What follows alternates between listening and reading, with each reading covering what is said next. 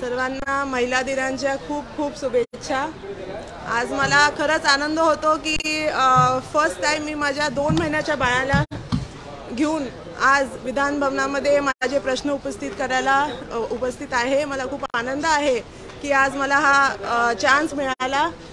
माननीय आपले जे स्पीकर आहे राहुल नार्वेकर साहेब त्यांनी हिरकणी कक्ष हा ह्या वेळेस आम्हाला सगळ्यांना उपलब्ध करून दिला. म्हणून हे पॉसिबल होतं. हे माझं दुसरं बाळ आहे. ह्याच्या आधी सुद्धा मी म्हणजे माझं एक अजून एक मुलगी झालेली मला टू थाउजंड ट्वेंटीमध्ये तेव्हासुद्धा मी खूप वेळा विधानभवनामध्ये आलेली पण तेव्हा तर हिरकणी कक्षाचं म्हणजे इट वॉज नॉट अवेलेबल तर तेव्हा मला घेऊन येता आलं नव्हतं.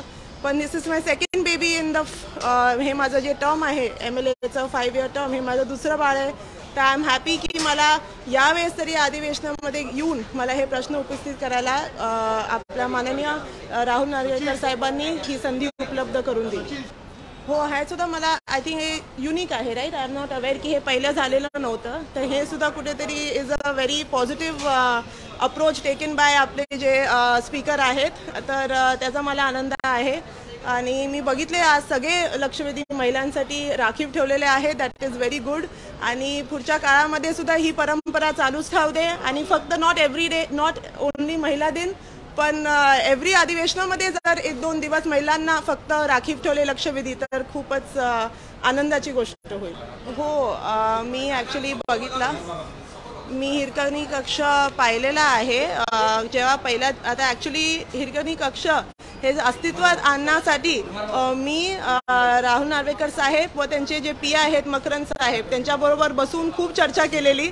आय थिंक गेल्या दोन अधिवेशनापासून आमचं त्याचं फॉलोअप चाललेलं आहे. हिरकणी कक्षासाठी सुद्धा पत्र मीच त्यांना अप्रोच केलेलं की मला एक ऑलरेडी बेबी आहे आणि यावेळेस तेव्हा मला ती संधी उपलब्ध नव्हती. पण यावेळेस प्लीज तुम्ही ही संधी उपलब्ध करून द्या. आम्हाला एक म्हणजे इट विल बी हेल्पफुल कारण मी फक्त तरुण आमदार म्हणून नाही आता खूप आहे. सरोजताई सुद्धा आहे त्यांना बेबी आहे. आणि प्लस या या ह्याच्यामध्ये दिस टाईम खूप सारे महिला आमदार तरुण आहेत. त्याच्यासाठी हे कुठलं तरी क्रॅश जो कॉन्सेप्ट आहे ठिकाणी कक्ष हा त्यांनी उपलब्ध करून दिला. आणि त्याच्यासाठी बॅक अँड फोर्थ खूप चाललेलं. तर पहिल्या दिवशी आय एम अवेअर की त्यांनी फक्त एक डेझिग्नेटेड एरिया दिलेला. त्याच्या पलीकडे सुद्धा त्यांनी त्याच्या काही अजून म्हणजे तिकडे बेड नव्हता काही स- हे नव्हतं. ते I think it was wrong पण नक्की नेक्स्ट डे इमिडिएटली ते सगळं जेव्हा म्हणजे मी त्या दिवशी आली नव्हती फर्स्ट डे पण ज्या दिवशी नेक्स्ट डे इमिडिएटली सगळं उपलब्ध करून दिलेलं आता मी त्यानंतर स्वतः जाऊन ते चेकिंग केली.